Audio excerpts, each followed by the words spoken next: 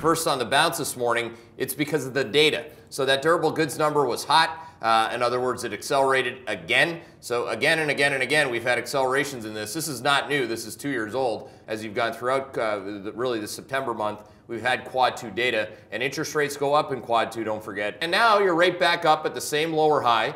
And what is the long-term call from here? I mean, the next rate cycle is down. Okay, the Fed has been raising interest rates for almost three years. The Fed just raised interest rates for the third time this year. Not new. I understand that some are agitated on the last couple weeks of a move. That's what happens. Markets are designed to agitate you and me. They're uh, also designed to shake you out. The Russell 2000 peaked back in August.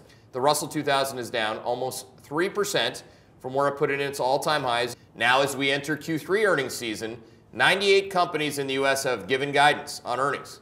76% of those companies have guided down, not up, okay? The rate of change is turning. Look at that thing, back and forth. Look at it. Look at it. Oh, they look the same. It's been quite easy to fade every single bounce in China, Europe, copper, emerging markets, etc.